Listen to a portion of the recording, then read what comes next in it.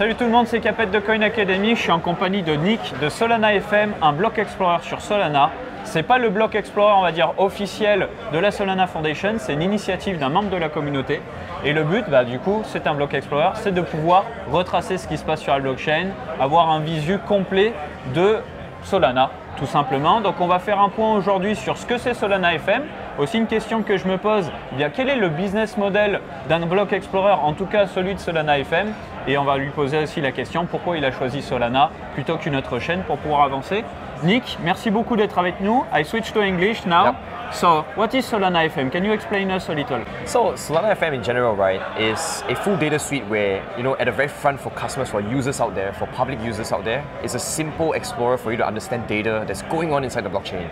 So that's in general what we do on the, on the, on the surface area. Okay. So when you say understand more what is on the blockchain, you mean transactions, NFT, uh, checking the ways maybe? Well, what kind of data you can find on the block explorer? So what you can actually find on the Explorer, right, is just generally just, just general data for users to understand. So so things like transactions, accounts, blocks, um, maybe maybe go into greater detail, um, understanding like how much um, how much power is needed for a transaction to run. So so very granular details like that actually can be gathered from an Explorer as well. Um, but generally, what we want to do is when we offer data to users uh, who are viewing the stuff via the Explorer, we're going to make it easy. Like you don't have Yeah. to think so much about it and just be able to understand what's going on. Yeah, and why did you choose to do Solana FM? Because we already have other block explorer. Why did you choose? Why you are different from the official one, let's say? All right, so so the official Explorer is actually open source, right? So the, the official Explorer actually focuses on RPC or, or you know the data that's available directly from the blockchain, and um, we know very well that um, there are many problems that that surface within the Explorer. There are a couple of things like how deep can we go in data, um, how deep can the UX be easier for users to understand, and how usable it can be. And the last bit will be how much faster can it be. So one thing we've been trying to focus on would be trying to make the experience easier, like brainless for users to understand. Like you can just view a transaction and be like, oh, I know what's going on. So rather than rather than rather than that, right? In you know Open Source Explorer right now, um, users wouldn't actually be able to understand that. Like they'll be like, um, let me take five seconds and then I'll yeah I'll Yeah, I see. it. I see. So low latency, more details into the data, more explicit, better UI, better UX. I That's think. right. And do you plan to do stuff about taxpayers, for example, like you use Solana, so you want a good history to send to the government or whatever? Is this something you try to? So this is something that we actually have uh, in offering right now. Okay. Um, we do offer them to a couple of like agencies that work closely with governments. Um, but but yeah, we generally do offer like data points and, and data flows for users to gather for, for people like that to gather, and then they can do tax rebates or tax taxation documents and stuff like that. Yeah, you can do that right now. Um, and that's actually our core focus. So so many people think that we are actually block explorers and we only build a block explorer, but it's actually much deeper, right? Okay. We we actually don't want to put too much emphasis on just the block explorer aspect, but we're going to build tools, stuff like gathering like how transactions are, how many transactions I have for my smart contract, for my programs. Um, yeah, those, those are things that we want to focus on rather than just the explorer. I see. And I think I can bring my second question, your business model. Because Yep. as a just a block explorer, you don't really make money except if you raise money, maybe. You you have a business model. Have you a name to recruit people, make money for yourself? I don't know. Can you explain? Yeah. So actually, how we make money is actually very, very unique. Um, the actual product that you're using, the Explorer that you're seeing today, makes no revenue, right? So we intend to stick to that for quite a while. The reason why we want to do that is because the actual revenue generating machine inside the entire Solana FM stack is actually just the infrastructure and tools. So in fact, right, that's actually where we want to put more emphasis and focus on. Because when you put more effort to make your data more robust, you can have more data to be put onto your Explorer, right? So that's why for us it's like, you know, the Explorer is just one part of the entire bigger picture. And Yeah. where exactly we earn revenue is generally from APIs, from data, offering data to customers, to protocols, projects in the space. Yeah. Yeah, so that's actually generally generally where we can generate revenue from.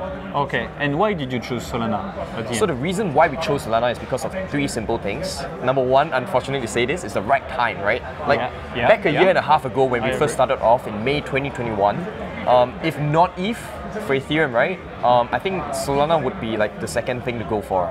So that was the first reason why. The second thing was that um, I didn't have a huge like knowledge and coverage in Cosmos. Back then, Terra was quite Yeah. huge. Yeah, I- but I agree. I didn't get myself exposed too much in Cosmos, and I didn't want to expose myself into something that I'm not very confident in. And the third thing that the third and the most biggest reason why I came on board Solana is because, and why I built this in Solana is because. Data back then was still very hard to understand, and it's still very difficult for devs. I- Like, I agree. like like devs, right? Like even for devs, it's tough for them to understand how, what, what's going on. So that's why we've set out like, you know what, we've got to build something out there to help devs and builders in space. Yeah, I see. That's pretty clear. That's very nice.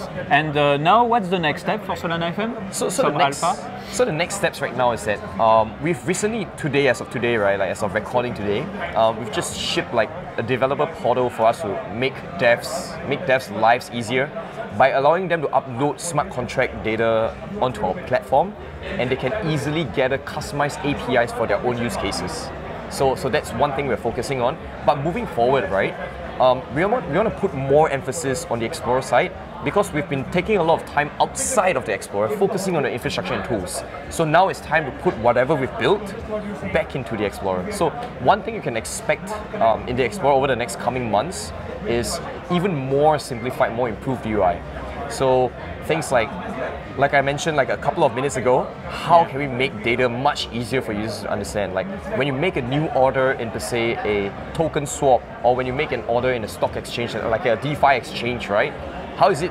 Can I can I make the experience much easier? Like I can just view one one one screen without scrolling and understand exactly what's going Yeah. on. So so that's where we want to go forward towards the next couple of months. And do you have a mobile app? Um, we don't. You don't? But maybe some short alpha will be. We do want to explore that, and we're pretty curious what that can bring to value add users even further.